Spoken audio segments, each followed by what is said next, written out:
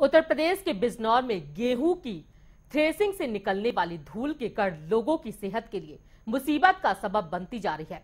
और यही वजह है कि अब अस्पतालों में दिन पे दिन मरीजों की तादाद भी बढ़ती जा रही है।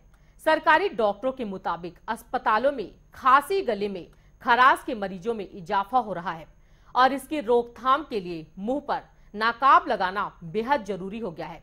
तभी जहरीली हवा से बचा जा सकता है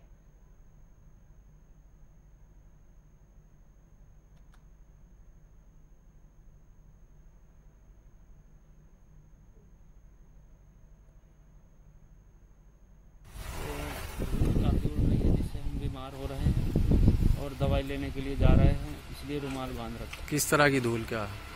ये गेहूँ की दवाई जो चल रही है जिससे धूल उड़ रही है जिससे नजला खांसी जैसी बीमारी हो रही है।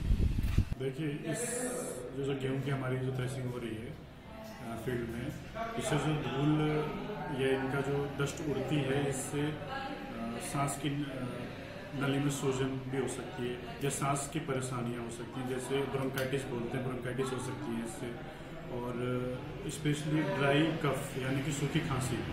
सूखी खांसी का होना इसका सबसे प्रमुख लक्षण हो सकता है, मेन जो इसका सिम्टम हो सकता है, कि हमें पेशेंट को शिकायत करेगा सूखी खांसी की। सूखी खांसी में उसको धसके टाइप की प्रॉब्लम हो सकती है, वो ज़्यादा भी हो सकती है, वो कम भी हो सकती है। सुबह शाम तक अगर वो लगातार संपर्क में है इस धूल के, इस डस्ट के तो उसको सुबह शाम तक भी खांसी का समस्या पैदा हो सकती है।